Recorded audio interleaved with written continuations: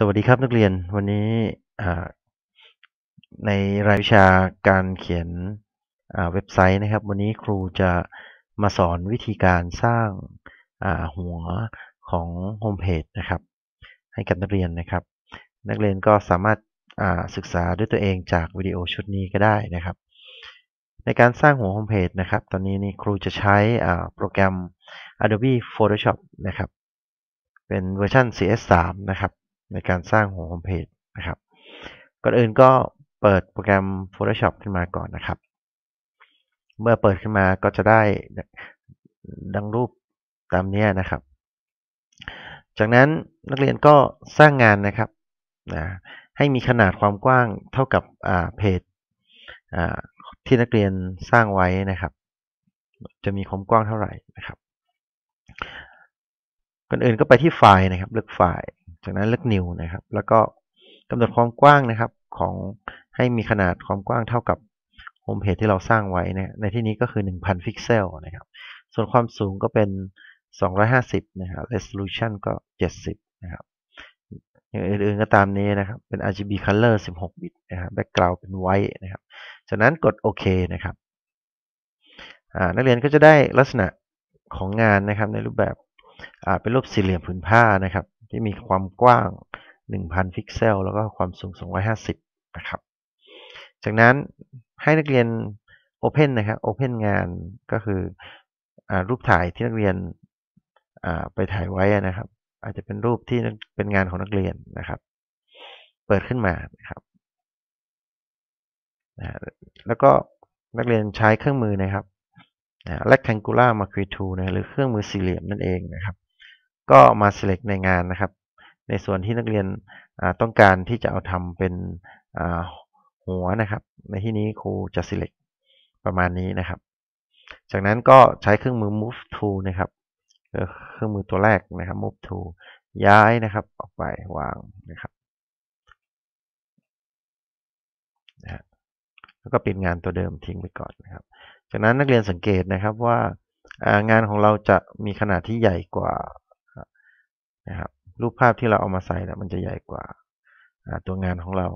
ตรงนี้ก็ไม่มีปัญหานะครับนะฮะก็ให้นักเรียนเลือกที่ในเลเยอร์รูปภาพนะครับ จากนั้นไปที่ เมนู Edit นะฮะเลือก Transform นะฮะเลือก Scale จากนั้นก็ย่อนะฮะย่อขยายงานนะครับ ให้มีขนาดที่พอดีกับตัวงานของเรานะครับ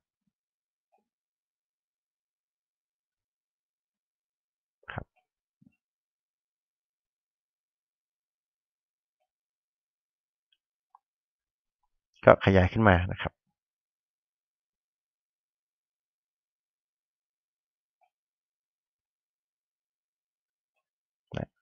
เมื่อพอดีแล้วก็กด enter นะครับ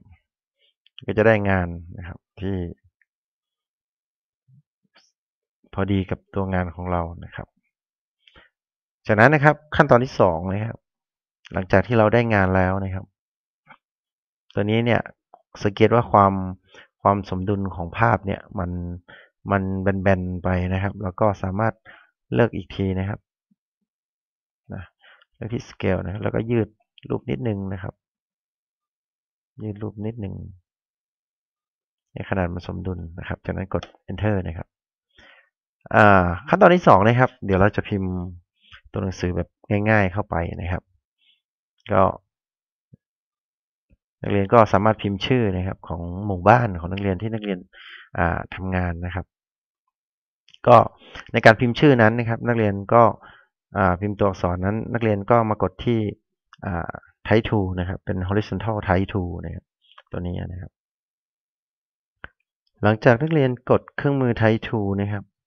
นะข้างบนก็จะปรากฏทูบาร์ของ type ขึ้นมานะครับ ก็จะมีในส่วนของการปรับสีตัวอักษรนะครับ เราสามารถเลือกสีตัวอักษรได้นะครับ แล้วก็ปรับขนาดตัวอักษรนะครับ แล้วก็ปรับรูปแบบตัวอักษรและอื่นๆนะครับ จากนั้นนักเรียนก็มากดที่งานของนักเรียนได้เลยนะครับ แล้วก็สังเกตว่า ในส่วนของเลเยอร์ก็จะเพิ่มเลเยอร์ type 2ขึ้นมานะครับ เป็นเลเยอร์สำหรับการพิมพ์ตัวหนังสือนะครับ นักเรียนก็ เริ่มพิมพ์ได้เลยนะครับ จะพิมพ์เกี่ยวกับหัวหัวโฮมเพจของเรานะครับ ก็ยินดีต้อนรับนะครับ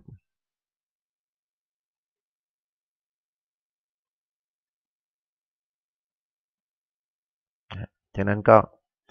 พอพิมพ์เสร็จแล้วนะครับ ก็สามารถจัดวางได้โดยการกดเมนู move to นะครับ แล้วก็เลื่อนนะครับเลื่อนนะครับ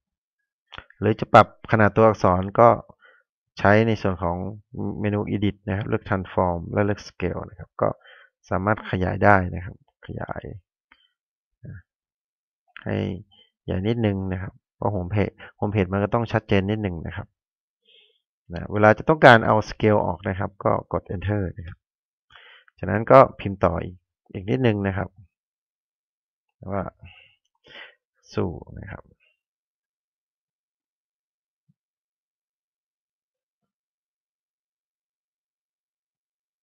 ตรงนี้อาจจะเอานี้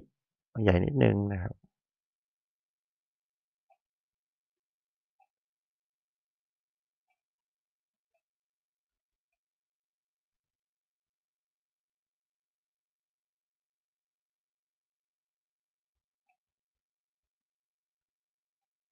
แล้วก็พิมพ์ชื่อหมู่บ้านเข้าไปนะครับ เป็นเลเยอร์ที่สาม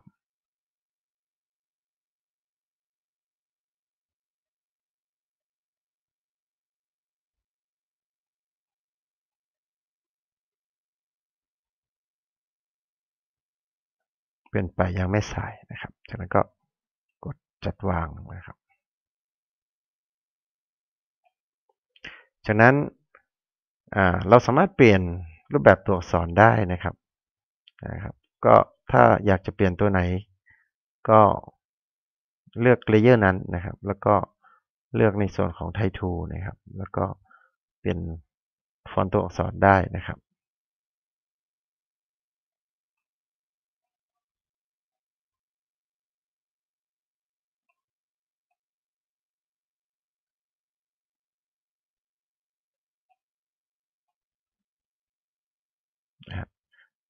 ชอบฟอนต์ตัวไหนก็ก็เลือกได้นะครับ เป็นสีก็ได้นะครับ เป็นสีตัวอักษรนะครับ เป็นสีที่เห็นได้ชัดเจนนะครับ ถ้าต้องการเปลี่ยนตัวนี้นะครับก็นะฮะจะคลิกขวาตัวนี้ก็ได้นะครับ แต่มันจะค่อนข้างยากนิดนึงนะครับ หรือไม่งั้นก็กดที่เลเยอร์เลยก็ได้นะครับ จากนั้นก็ เป็นสีตัวอักษรนะฮะลองเปลี่ยนสีตัวอักษรดูนะครับให้เกิดความชัดเจนนะครับ จากนั้นเราจะมากำหนดเอฟเฟกต์ให้กับตัวอักษรนะครับ ในส่วนของยินดีต้อนรับนะครับ ก็เลือกเลเยอร์ยินดีต้อนรับ แล้วสังเกตว่าจะมีรูป toolbar นะครับ เป็นตัวนี้นะครับตัว fx นะครับอยู่ข้างล่างนะนักเรียนก็สามารถกดนะครับ แล้วเลือกในส่วนของ drop shadow นะครับ นะสังเกตว่าจะปรากฏเงาขึ้นนะครับ ปรากฏเงาขึ้นนักเรียนสามารถปรับนะครับเงานะครับ ได้ตามอิสระตามความต้องการนะครับ จะหนาจะเข้มยังไงนะครับนะก็ในส่วน inner shadow inner glow อะไรก็ก็มีเยอะแยะนะครับ นักเรียนก็ลองทำดู แต่ตอนนี้เนี่ยในส่วนนี้ครูจะขอปรับสโตกนะครับ ปรับสโตกแล้วก็เลือกเป็นสีขาวนะครับ ก็จะทำให้ตัวหนังสือเราเด่นขึ้นมานะครับ ก็ แล้วกดโอเคนะครับ ในส่วนของตัวหนังสือยินดีต้อนรับก็มีการใส่เอฟเฟกแล้วก็ใส่สโตกให้เรียบร้อยนะครับ ก็จะดูเด่นชัดขึ้นมา ตอนนี้จะขอจัดในส่วนของบ้านปลายางนะครับ ก็ทำเหมือนเดิมนะครับ ใส่ stroke ให้นะครับใส่แบบ shadow ให้ใส่เงานะครับ แล้วก็ใส่ stroke ก็เป็นสีเป็นสีขาว จะได้เห็นได้ชัดเจนนะครับ เป็นบ้านปลายางไม่สายนะครับจากนั้นกดโอเค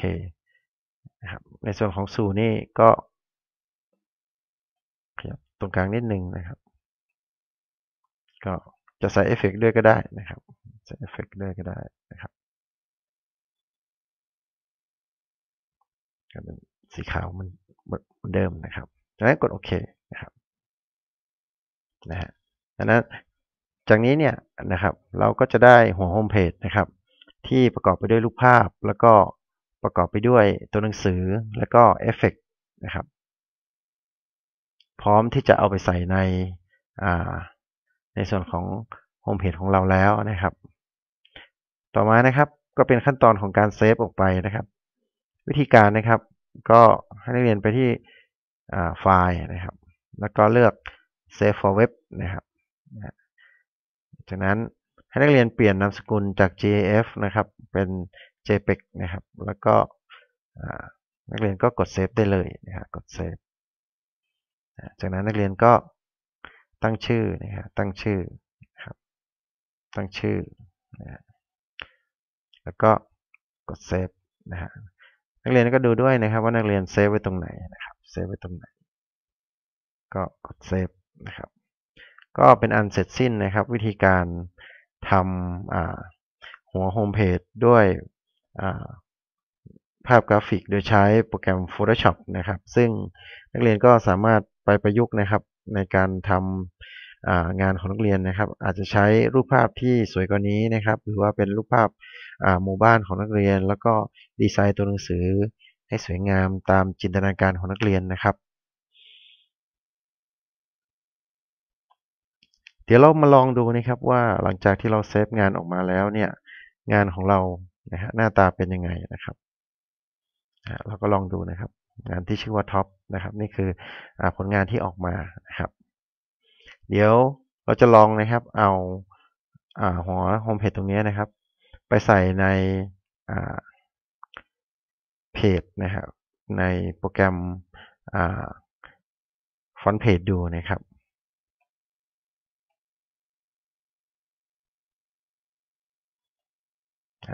ก็เข้าโปรแกรมฟอนต์เพจนะครับ 2003 จากนั้นก็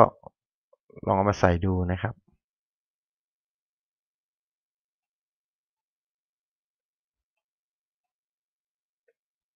กำหนดความกว้างของอ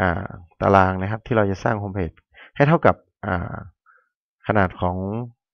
งาน หัวโฮมเพจที่เราทำนะครับจากนั้นก็กดนำไปใช้ตกลงนะครับ จากนั้นลองเอานะครับ หัวโฮมเพจลงมาใส่นะครับ ก็ก็แทรกรูปภาพปกตินะครับ แล้วก็ เอาหัวโฮมเพจที่เราทำเมื่อกี้เข้ามานะครับนะฮะนักเรียนสังเกตนะครับ ก็ขนาดก็จะพอดีนะครับกับเพจที่เราเตรียมไว้นะครับก็ นี่ก็เป็นวิธีการในการแทรกหัวโฮมเพจเข้ามาใช้งานนะครับ บทนี้ในการสร้างหัวโฮมเพจด้วยโปรแกรม Photoshop ครูก็ขอจบไว้เพียงแค่นี้ เดี๋ยวมาเรียนรู้เรื่องการทำใส่แอนิเมชันให้กับหัวโฮมเพจในชั่วโมงต่อไปนะครับ สวัสดีครับ